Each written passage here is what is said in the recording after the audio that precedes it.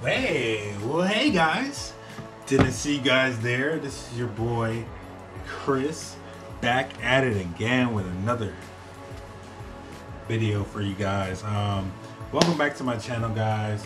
Um, this is your boy Chris. Um, thank you for joining the Dream Squad. Matter of fact, this is Airman Welts talking to y'all, and y'all are in my room. Let me tell y'all why y'all in my room today because I created I created a whole bunch of YouTubers. I created some YouTubers and Tyler's over there taking over the studio. He's making a YouTube video as we speak for his channel Fly Video. I got a lot to talk about. Um, you know, with any military video, I just want to go ahead and say disclaimer. This is all my opinion. This is my opinion based. This is all my personal choices. You know, by all means, you do your research and you figure out what works best for you.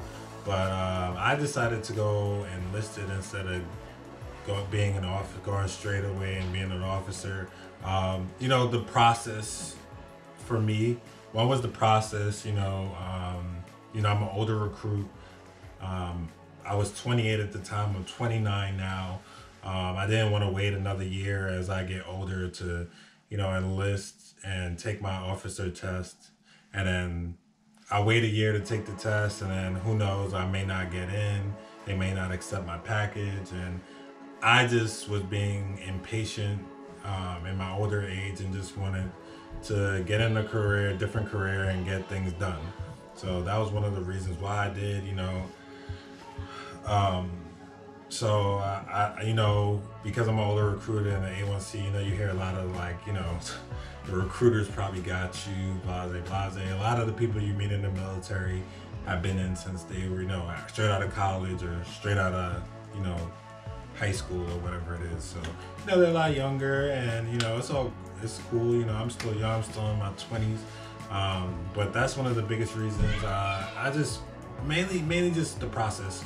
You know, um, I went to school for sports management and I have literally, okay, besides my first job in Brooklyn, at the Brooklyn Nets, um, I pretty much never used that degree. I've been in, working in like sales and um, you know, I was a student in Dallas, Texas area, and um, you know, he pushed me to take my ASVAB. I took my ASVAB.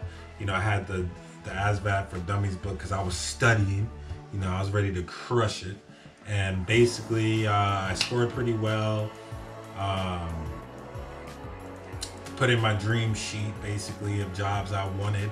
You know, I was thinking, I was thinking about, you know, air traffic control, things like that, blase, blase, things I knew. I knew I didn't want to stay in the military. I knew I was just doing it for a different career and take that knowledge. And you know, being in the military looks good, great on your resume. You know, you get government jobs, state jobs, things like that. So I was like, boom, I'm gonna use this opportunity, get a great job, take it out into the civilian world.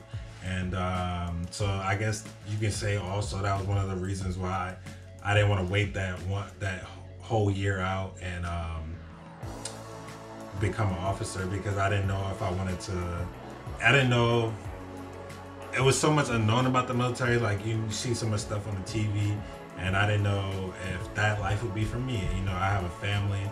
It's not like I'm single and alone, so I wasn't sure if that would be good for me and the family. You know, I felt like it would be a lot of moving around jumping from school to school and you know thankfully my wife works from home so you know we don't really have to worry about her the last reason i chose a lot of people respect officers that have enlisted prior service um, who are enlisted first and then went officer they get more respect because they kind of know how it is to be enlisted and you know me being a civilian working as a civilian originally and not just only working in the um, the military world um, I kind of knew how that felt. You know, I've worked jobs where, you know, I was the I was working the enlisted role, the the worker bees, and you know, the officer or the manager would come in, never work, you know, never worked a day really as a he got just hired on as the manager and don't really know the processes that hard. Not saying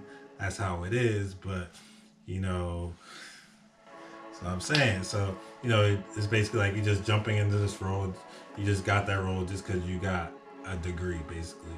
You know, I don't know. I that's, that's how it is. But you know, you know, not to saying they don't get trained just like the enlisted gets trained, but you know, it's kind of how it feels. You know, you know, you're kind of being managed or by somebody that just came out of college and you know they're kind of new to the field whereas you could be enlisted a master you could be like a master sergeant enlisted and you know you kind of have to salute and respect uh, the officer no matter what rank of officer even if he's an old 01 so um, that was a reason for me um, by all means do your research talk to your recruiters talk to your talk to the officer recruiters, talk to enlisted recruiters, uh, weigh out the options, see what your degree uh, may get you, uh, what what career field the options you would have, and you know whatever makes sense for you.